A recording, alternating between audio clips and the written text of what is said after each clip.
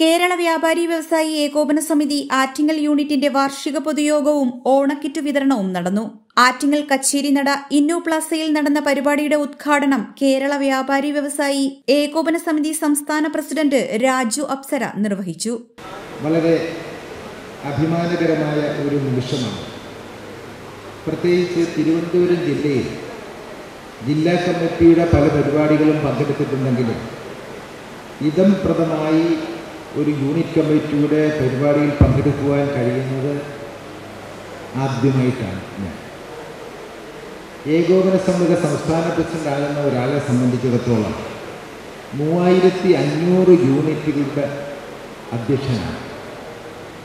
എല്ലാ യൂണിറ്റിലും പോകണമെന്ന് ഞാൻ ആഗ്രഹിച്ചാലും ഒരു ദിവസം ഒരു യൂണിറ്റ് വെച്ച് പോയാൽ തന്നെ പത്ത് വർഷം കൊണ്ട് എല്ലാ യൂണിറ്റിലും എത്തിച്ചേരാൻ പറ്റും. ഇപ്പോൾ തന്നെ ഞാൻ വരുന്നത് തിരൂരിൽ നിന്നാണ് അപ്പോൾ തിരൂരിൽ നിന്ന് ഞാൻ വരുന്ന എനിക്ക് ഇന്ന് കോട്ടയം ജില്ലയിലെ ഒരു പരിപാടി മലബാറിലാണ് എനിക്ക് കോട്ടയത്ത് ഇറങ്ങിയാൽ വളരെ സൗകര്യപൂർവം കോട്ടയം പരിപാടി പങ്കെടുത്ത് എനിക്ക് തിരിച്ചു കിട്ടും.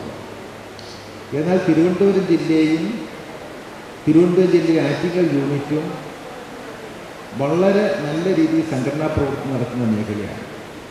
നമുക്കറിയാം നമ്മൾ സംസ്ഥാന തലത്തിൽ പ്രവർത്തിക്കുന്ന ഒരു പ്രസ്ഥാനമെന്ന നിലയിലാണ് പലപ്പോഴും ഏകോപന സമിതിയുടെ പല തീരുമാനങ്ങളും ഗവൺമെന്റ് അംഗീകരിക്കുന്നത്. ഭരണാധികാരികൾ പലപ്പോഴും നമ്മുടെ മുന്നിൽ തലകുനിക്കുന്നത്.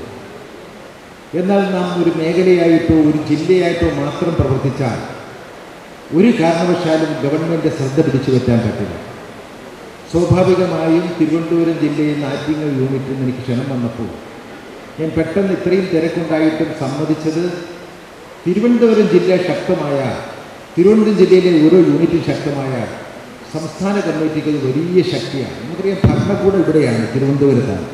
നമ്മുടെ സംസ്ഥാന കമ്മിറ്റിയുടെ പ്രവർത്തനങ്ങളെ നോക്കിക്കാണുന്നത് പലപ്പോഴും തിരുവനന്തപുരം ജില്ല എന്ന കണ്ണാടിയിലൂടെയാണ്.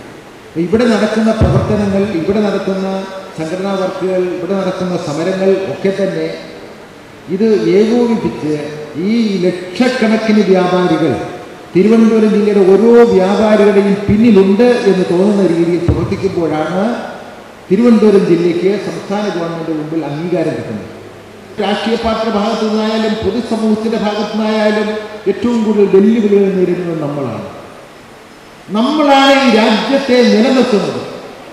നാം അധ്വാനിച്ച് അഞ്ച് ശതമാനം പ്രോഫിറ്റ് കിട്ടുമായിരിക്കാം അല്ലെങ്കിൽ പത്ത് ശതമാനം ലാഭം കിട്ടുമായിരിക്കാം മാക്സിമം ഇന്ന് സ്വർണത്തിൽ നിന്നും ഒന്നോ രണ്ടോ ശതമാനം കിട്ടിയാൽ കിട്ടി എന്നൊരവസ്ഥയാണ്. പക്ഷേ സർക്കാരിലേക്ക് പോകുന്നത് എത്രയാണ്?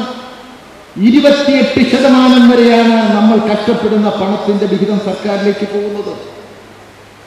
ഒരു ലക്ഷം രൂപയുടെ വ്യാപരിക്കുന്ന നിങ്ങൾക്ക് രണ്ടായിരമോ മൂവായിരമോ അയ്യായിരമോ ലഭിക്കുമ്പോൾ ഇരുപത്തി എണ്ണായിരം രൂപ വരെ സംസ്ഥാന സർക്കാരിനും കേന്ദ്ര സർക്കാരിനുമായി വീതം വെച്ചു പോകുന്നു.